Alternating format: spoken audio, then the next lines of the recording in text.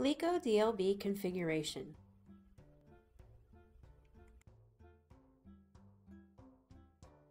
Prior to installation, all devices must be configured.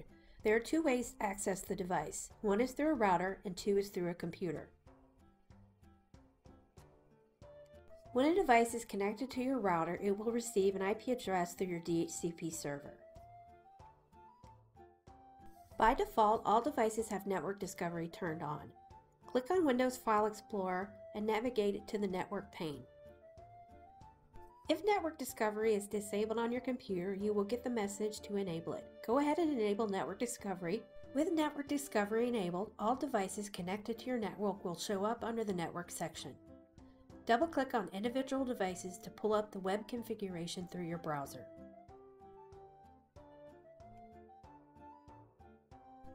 Prior to connecting to a router, you can configure each individual device through a computer connected directly. The default IP of the device is 192.168.2.66. Type this into your web browser to access the device.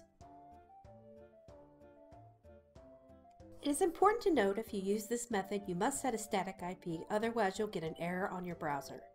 To set a static IP, go to your network settings, Click on Ethernet. Click on Change Adapter Options.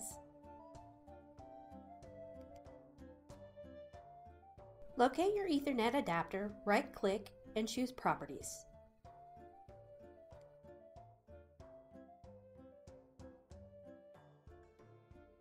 Search for Internet Protocol IPv4, click on it, and choose Properties.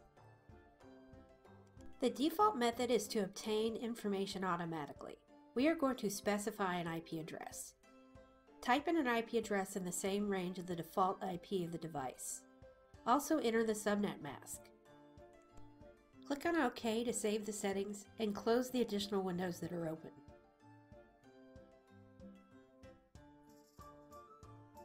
Now that the IP address has been set, go back to the browser and type in the default IP of the device. Now you will be directed to the web interface for configuration.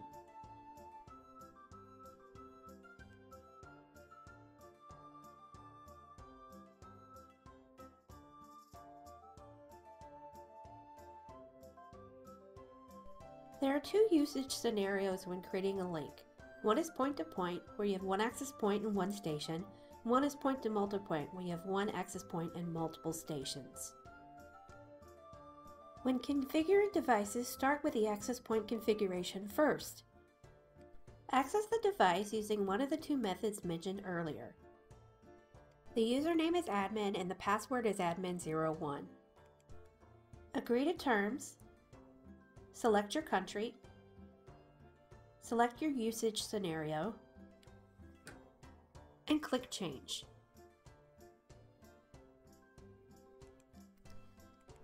Click on the Settings section. The default operating mode is Station. We're going to change that to Access Point iPoll 3. Next, click on the default SSID of LigoDLB to customize your network. Enter your own SSID and add security if desired.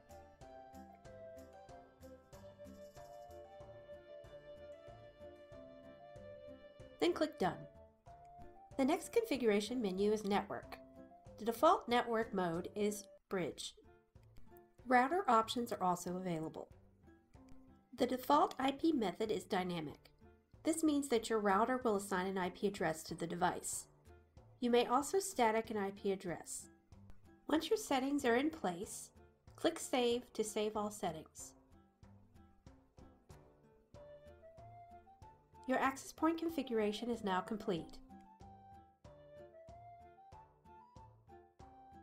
We will now configure the station device. Click on Settings, click on the default SSID, and click on the search button to locate your access point.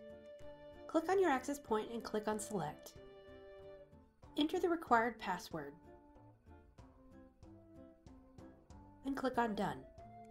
Configure your network settings and click on Save.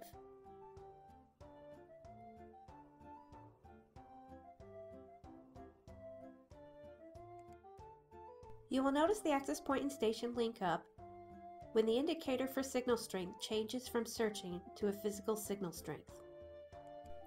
From the access point, you will notice there is one station in the upper right hand corner. When you click on the information and then wireless networks, you will see all peers that are connected and their current signal levels. There's a setting that's also useful on a short link. If you enable automatic throughput control, the device will self-adjust to the required power. This helps adjust the signal strength on a short distance. Make this change on both the access point and the stations.